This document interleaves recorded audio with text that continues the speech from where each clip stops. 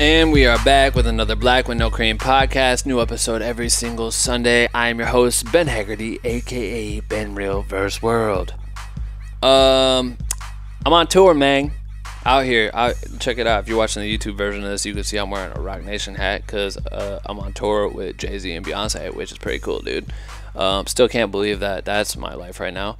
Um, but yeah, I'm in, in I'm in I'm in, in, in I'm in Amsterdam right now. We got two shows here.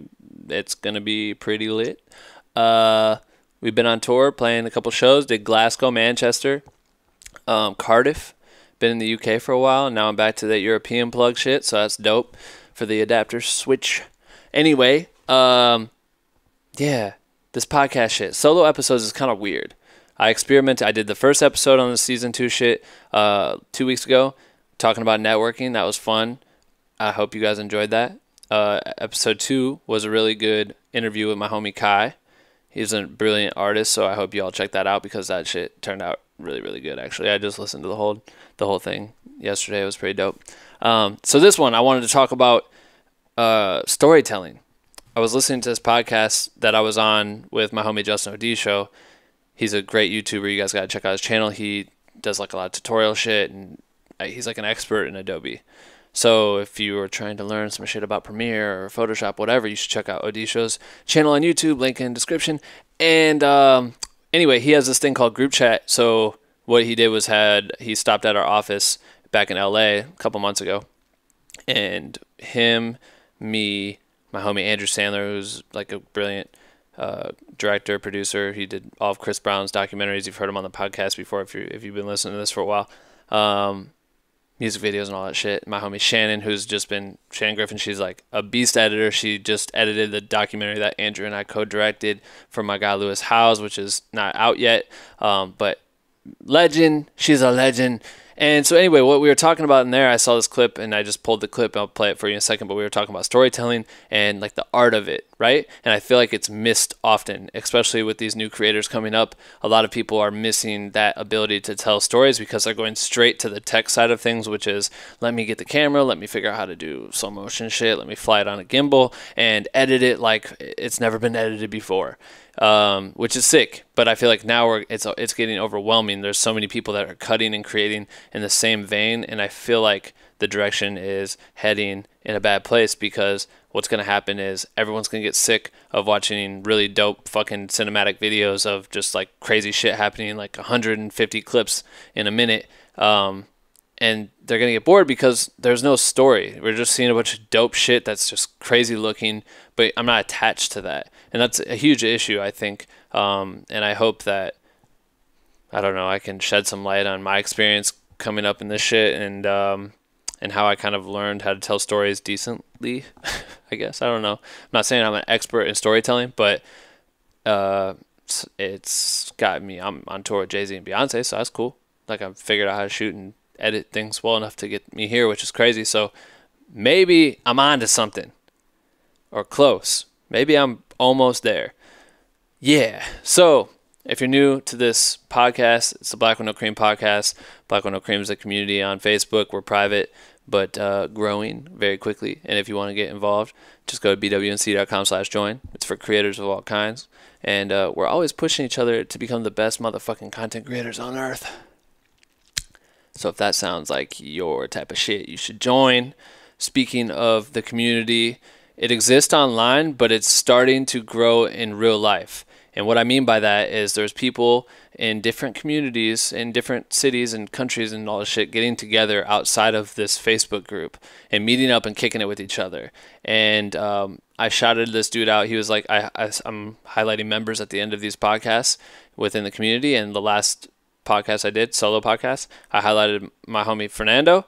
He's now my homie. I did not know him before this, but he found the community. He's been active as fucking that shit. And he started hosting these meetups and shit in different in London and getting together in Amsterdam and stuff. And it's really cool to see. And um, I just finally got to meet the guy. So we went out and uh, he brought Sylvia, who's like another member in Black No Cream, me, her, him, Dave. We all went and got. Uh, I got like a it was like this waffle chicken sandwich. It was wild. Um, but we got to hang out and talk about Black With No Cream and like where it's going. And he gave me this really dope book, and I think that's in my um, suitcase somewhere.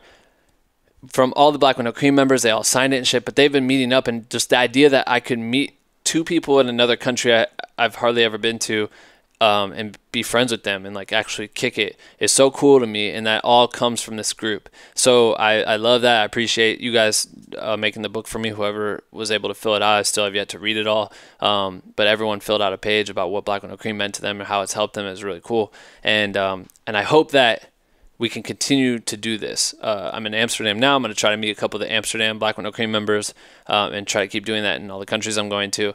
But uh, I, I encourage you guys to be like Fernando and try to pull these off in your cities with or without me. Just, oh, cool. There's one other person in fucking Toronto that is in Black With No Cream. Let's go get coffee together. Or, or wherever you live, try to do something and just get together and meet each other and interact in real life because that's so fucking key in all of this. But anyway, sorry for talking so much. Um, I'm just excited. Solo podcasts are hard to do. I'm like sitting kind of weird and sitting in a room by myself, just talking to this camera. Yeah. Okay. I'm just gonna get to it. Um, first, I'm gonna play the the intro to the podcast um, because it's the most fucking you know you know what I always say and then I'm gonna play Justin's snippet so you guys can get an idea where I'm coming from, and then I'm gonna bust out three fucking tips, the illest tips you've ever heard about how to fucking be a better storyteller or whatever. Um, so yeah, the most epic podcast intro ever created, right motherfucking now. Attention. If you stop this podcast recording at any time, You will die. I don't want to die. Do you want to live? You have 24 hours to share this podcast with five people or you will die. I'm kidding. You won't die. You're just weak shit for not sharing. And the winner of the best motherfucking podcast goes to. Black with no cream. What do you think? So fucking dumb and so fucking Ben Hagarty. I knew you would say that. that the benefit to film school for me was learning the fundamentals and learning film theory. And I think a lot of people nowadays are, you know, learning how to edit or learning cool transitions or learning skill sets, but they're not they don't if you don't know the fundamentals, then you can't break the rules. So you have to know the rules to be able to break the Yep. rules. So don't just you know learn how to edit and learn how to do transitions because that's not enough. You have to know storytelling and know Yeah, why. storytelling's so because if you don't know why, those transitions are just transitions. They're not yeah, yeah. adding value. Excuse me. They're not adding value to the story you're trying to tell. Absolutely, because I see people do that all the time. And if you actually watch like uh, And some- watch watch the best thing I say for editors, and this is something I did. Actually, I started doing this in high school. Watch a movie without the sound, and if you can still understand what's going on, then that's good editing. Hmm. So my grandma doesn't speak English, and it's so funny because sometimes me and my Segue. no me and me and my brother will like put on a movie with her, and we like I always love when she gets what's going on because she doesn't understand what the people are saying. Yeah, exactly. So she just has to rely on like. You know the- Emotion and- what's going The on. visual so cues. like we always know that a show is good or not if like my grandma gets enveloped in it and she's like, "This guy's no good" or whatever.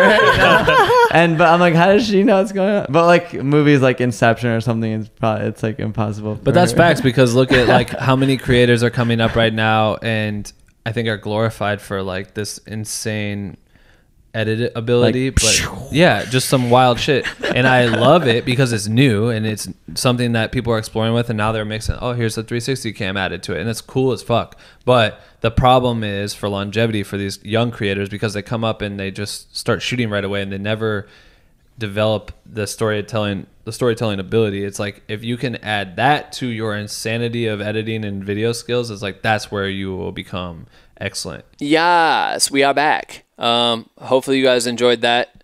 Uh, shout out to Justin again. He's a legend for having me on the podcast. I appreciate that. Um, and I hope you kind of get where I'm coming from. And now I can get into the three tips that I have. The three tips. Tip number one study. Study. I don't think school is the shit. I don't like really think you need to go to school for ex- for this for creating and making f- films and shit. But there's fuck tons of things to learn. I don't think you have to go because i didn't really go. I went to college but i went for a communications degree and an emphasis in electronic media. And at the time it was like using dv tapes and shit. Like you know we're there. It's for people just learning how to edit and setting you up to go to like news broadcasts and shit. And I I didn't fit in that lane, but it was like the closest thing for me to be creative, so I did it. But while there, I practiced all the time and I used the resources, which is super key. And I was going to Barnes and Noble and fucking buying storytelling books and you know storytelling 101 and how to write scripts and the arcs or story arcs and how to break down scenes and all this different shit about storytelling and I was just reading the fuck out of it. And I feel like I was reading that to understand how to build stories. And then I was reading other pieces and how to actually tell stories. Two different things. You're building a story, you know, you're trying to find all the elements and all the pieces that could build and make the story, and then you have to figure out how to tell it by utilizing the actual path of characters, the actual path of um, not I don't want to say vibes because that's corny as fuck, but like emotions and and you have to put them on a roller coaster, put your viewer on a roller coaster to make them understand who this person is, make them married to that person, and make them want to cheer on this person or whatever your goal is, and then make them ride through you know some sort of moment in time with these people and that was that was all I studied. I wrote a million scripts. They were all trash, but I wrote script after script after script and wrote all these ideas. And when I got into music, I would do the same thing. It's like, how do you tell a story in three minutes or or whatever, you know? So like, I've I've just always been obsessive with storytelling, and and I think that that wouldn't be possible to know what I know now if I hadn't read all these books and I hadn't studied all these fucking forums you know, this was before YouTube was really killing it, but like I was studying forums and reading blog posts. I was trying to get my hands on everything I could to grasp and understand what I needed to do to to to make films or to make any video possible. It wasn't I wasn't ever like, oh, I need to make I want to make Star Wars. I wasn't ever thinking like I want to be a massive film director. I just want to tell stories that people could relate to and enjoy. Um, if that was a shitty YouTube video or I didn't give a fuck about quality and just made some shit.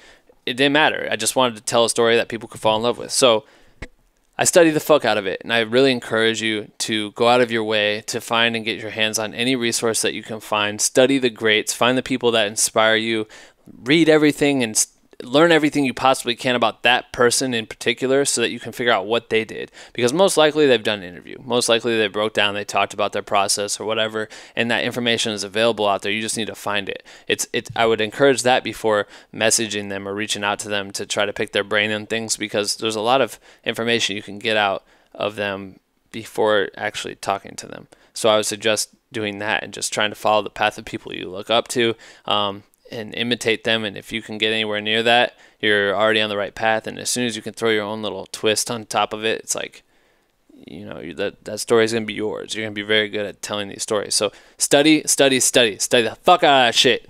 Study it. Go to Barnes and Noble. That shit ain't dead. Go read a book. It ain't hard. Or book, buy a fucking audiobook. You know what I'm saying? Um. Okay. So that's number one. Cool. Number two, experience super key. Um, ever since I was young, like I look at it right now, I'm 30 years old. I just turned 30 uh, last week. I turned 30 in uh Gla- no, where the fuck was I? Cardiff, United Kingdom, which is crazy to me to have a birthday in another country. On tour with Beyonce and Jay Z. This was a day before the tour started. So I'm spending it around them. And I'm fucking in another country, and this is just super wild to me. Um, that's an experience. And I think about where I'm at right now and how crazy it is to have gotten here and all the things that I've done since I was in high school. Like I've done so much shit. I've been in every band you could think of. I performed music in front of all kinds of people. I wrote a bunch of songs. I made all the videos for our music. I would travel the fucking United States over and over again in my little punk bands and my pop punk bands and hip hop groups and all this shit that we did. And we would go all over the place. I'd fly over the place with public speakers. I would travel with different bands and shoot documentaries about them. I've fucking done so much wild shit. It, it's like beyond me. Um, and all that shit is experience that has helped me grow as a person and uh, and how I think and how I articulate my stories. Um, and I think that just having some experience can go a long ways. And especially for a young creator that's coming up, you buy the camera, you buy the gear, and you start making your your shit right away. You go do something. Go be aggressive. If you're not going to go to a film school, if you're not going to go spend a bunch of money on gear right away, spend that money on travel. Like you don't need to have the best fucking camera in the world to make content, or you don't need to have the best editing software or the best lenses to shoot photography. Like buy a point and shoot. Use your cell phone. Who gives a fuck? Go somewhere and experience something. Build a group of friends that can go travel and share memories together. Experience will really add value into your storytelling ability because you need to have stories to be able to tell stories. So start with that shit experience. Tip number three I wrote down patience. What did I mean by that? I don't edit these podcasts, I just like let them go. So, you know, it might be me saying a bunch of stupid shit for a little bit, but there might be a piece of gold in there somewhere. Patience. I meant by patience, it, you, okay, this is what I meant. You have to have patience when you're telling a story especially in the world. I mean, I for me traveling around with artists and doing different things like that, I'm assuming most of the people listening to this come come from that world. You have to have patience and the ability that you might not know what the story is going into it. Um, take for example me going on tour with Schoolboy Q. I knew I needed to recap the tour. I needed to document the tour. And when it came down to making an episode, I was just filming random shit that we were doing, but there was no real story to it besides we're on tour, we play shows. Shows are pretty sick. I had to figure out what the stories were around it. So I would shoot a lot. I would shoot more than I needed to. Um, we're just chilling in the bus. Someone starts having a conversation. I'd film it.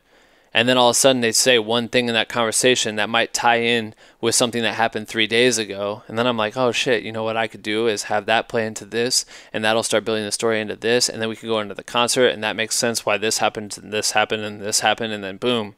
Um, which if you haven't watched those, please go watch those. Watch every episode. And uh, as a clear example, Smack, who is Q's brother, cousin, his best friend, whatever, Smack, we told him that he was going to have a meet and greet. And we did that. We introduced that in like episode one or two in Miami. And then we get to Miami and we find out that's all a joke. But then throughout the process, Smack's head's getting real big because he got meet and greet and all this shit. And we build it up to be this big thing, and then you feel really bad for him. But then Smack's like now the underdog again. So it's like these little things that just happen. But it wasn't like when I started the tour, I wasn't, oh, this guy Smack is going to go on tour and we're going to mm, crack a joke on him. I didn't know him. So I had to I had to learn who my characters were. I had to understand my surroundings, and I had to just wait and just feel it out and listen back to what I had and watch the content I had and start building stories slowly. And with patience, then came great little chunks of content that came out on YouTube and lived and did their thing. Um, so you you need to have patience in order to to. My fucking Zoom just died because I'm a dumbass and didn't put batteries in it. Oh my god. Hold on a second. All right, I'm back. Sorry. I fucking forgot to put batteries, new batteries in my Zoom and it died. So I'm sorry about that little interruption. Thank God for the camera audio, which probably sounded like shit. We'll see. Um anyway, man, that's it. I'm um I'm so tired. I need sleep. Uh, I really just wanted to get something out there for you guys to hear.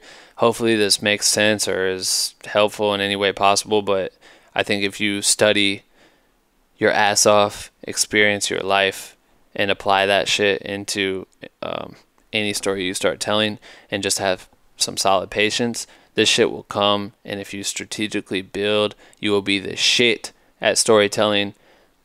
Don't think all you need to do is sit there and have a bunch of speed ramp videos. That's not the only thing you can make.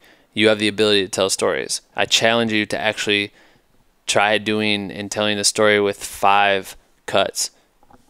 Do that. Make one Instagram video. This is tight. Cool. New challenge. If you're listening to this shit and you make videos, or if you make, let's see, how do I do this? If you make, all right, for video creators specifically, make a video that's one minute with just five cuts. Tell me a story. And then fucking at my ass or DM it to me or whatever. That's cool. Photographers, I'll think of something else later. I'm too tired to think of these contests, guys. I'm so sorry. This shit's getting hard to do on the road, but I'm gonna stay on top of it. Um, we're gonna record more podcasts. I'm gonna try to get them done so I'm not scrambling for shit on Sundays. I just don't want to let you guys down. I want to make sure these get out. yeah. Anyway, let me highlight a member. Um, this week I wanted to highlight this dude named Dev Matic. He's in the group. he's sharing fucking all the time. Actually, it's crazy the insights I get within uh, Black No Cream because it'll tell me people that are um, like the top contributors, and Dev Matic's on, on this bitch all the time, sharing his his stories, and I think he just shot some some uh, some something, just shot something for XXL magazine. I don't know. So go look him up, check him out. I appreciate him being a part of Black No Cream and sharing his advice and his tri- tricks and tips. Um, and I, everyone, I appreciate everyone that's in this shit. You guys are all fucking killing it. Every time I explain this shit to new people on the tour or whatever, everyone seems to be really jacked up about the idea of Black No Cream. So I'm hoping to get some new creators in here with some ridiculous experience soon and share their shit with y'all. Um, yeah. All right. Cool. That's it. No merch. Nothing to plug. Just share the share the episode if you guys think it helps. Uh, I promise you, I will eventually get to the point where I can have this more structured and hopefully it has more meaning and is better in general. uh, soon, when I get off tour, Black With No Cream is all I'm doing, and uh, I'm excited to like rent a place that could become the BWNC headquarters. These are things I think about, and I like the podcast for the fact that I can think out loud. All right, cool. That's it. Um, thanks for listening. Next one's coming up uh, this next Sunday. If you guys have any ideas of topics I should talk to, email me blackwithnocream at gmail.com. Just shoot me an email and t- put the subject topic for solo episode, and then boom, send me your shit. I want to know. All right, guys. Talk to you uh, next week. Enjoy it. Bye, motherfuckers.